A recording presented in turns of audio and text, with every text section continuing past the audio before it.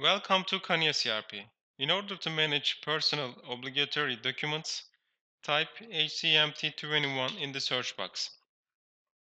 In the Personnel Records screen, fill the related search criteria, click on the search button, choose the employee from the list, click on the Change button.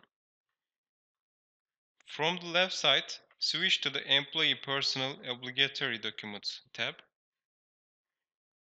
In this tab, we see the obligatory documents and their status as not taken, taken, or unnecessary.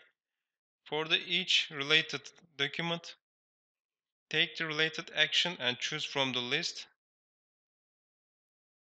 To save, click on the Save button.